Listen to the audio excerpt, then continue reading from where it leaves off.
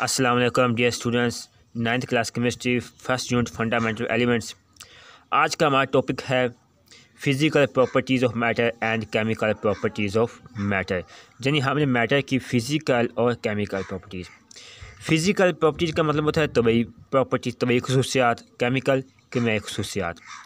सबसे पहले हम कहते हैं कि physical every substance has a physical as well as chemical properties हर मादे की तबई और केमियाई खसूसियात होती हैं। The properties are associated with the physical state of the substance are called physical properties ऐसी खसूसियात जो मादे के तबई हालत तल्लु को तबई खसूसियात करती हैं। फॉर एग्ज़ाम्पल मैं बताता हूँ। कोई भी एक मैटर है, एक मादा है, उसकी एक तबई खसूसियात होती हैं। मतलब उसका उसका कलर, उसका जायका, उसका सख्त पॉइंट, उसकी कसर कलर शक्ल बनावा solubility melting point boiling points वगैरह। ये तो होगी तबई खसूसियात। अब वही जो एक मैटर है, मादा है, वो कितने एटम्स और कितने मालिक्यूल से मिलकर बना है, उसकी क्या कंपोजिशन है, क्या साख्त है, क्या तरकीब किस केमिकल रिएक्शन से बना है, और उसकी आगे दूसरे मसाल के तौर पर मैट्रिक्स के साथ केमिकल रिएक्शन करने की जो एबिलिटी या सलाहियत है, वो तो होगी इसकी केमिकल खसूसियात फ़िज़िकल प्रॉपर्टीज़ सेम रहती है मैटर की केमिकल प्रॉपर्टीज़ वो तो चेंज होती रहती हैं। अब आगे आपको बताता हूँ। Like colour smell taste hardness shape of crystal solubility melting और बॉइलिंग पॉइंट्स जो कि आप बता बता चुका हूँ कि कलर जायका, सख्त पॉइंट क्रिस्टल की शक्ल सोलिबिलिटी वगैरह।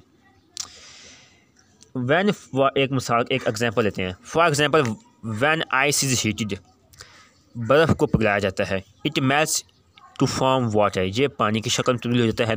When water is further heated जब हम पानी को मजीद गर्म करेंगे it boils to give steam जो एक भाप की शक्ल में आ जाता है।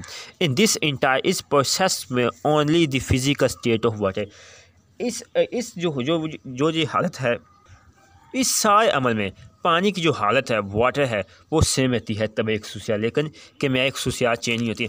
अब वही वाटर को हम मज़ीद उसको हम आयोनाइज करेंगे, जो हाइड्रोजन ऑक्सीजन के साथ मिलकर बना है, उसको हम तोड़ देते हैं तो वो उसकी केमिकल केमियाई खसूसियात ख़त्म हो जाएँगी, लेकिन वो फिर वाटर वाटर नहीं रहेगा। वो तो गैसों में तहलील हो जाएगा। वो उसकी केमियाई प्रॉपर्टीज़ है। वो आगे आपको मैं आपको डिस्कस करता हूँ।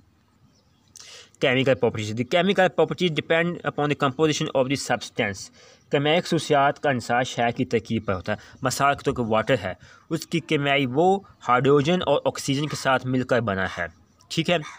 वो हाइड्रोजन और ऑक्सीजन के साथ मिलकर ख़ास रेशो के साथ एच टू ओ उसका फार्मूला है। उसके ख़ास रेशो के साथ एक, एक उसकी जो तनासब के साथ मिलकर बना है वो वाटर है।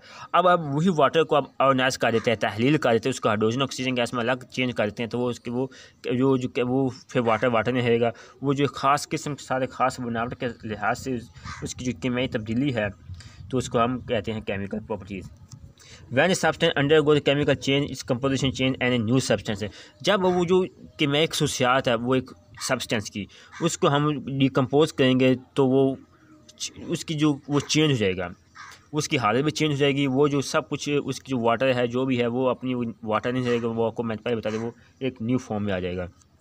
For example decomposition water is chemical change as it's produce hydrogen and oxygen gas इस टॉपिक में ये है कि कोई भी सब्सटेंस है, उसकी जो फ़िज़िकल प्रॉपर्टीज़ और थी केमिकल प्रॉपर्टीज़ फ़िज़िकल प्रॉपर्टीज़ होती है, वो जो इसकी सेम होती है, वो वही रहेगी। जिसका मतलब वो कलर है, सख्तपन है मेल्टिंग पॉइंट बॉइलिंग पॉइंट सब कुछ। जो केमिकल प्रॉपर्टीज़ वो जिस आइटम से कुछ साथ मिलकर बना है आपस में, और ये खास तरकीब के साथ रेशो के साथ अगर हम वो चेंज कर देंगे, उसकी तहलील करेंगे, वो एक न्यू फॉर्म में आ जाएगा, वो ख़त्म हो जाएगा। ये था आज का टॉपिक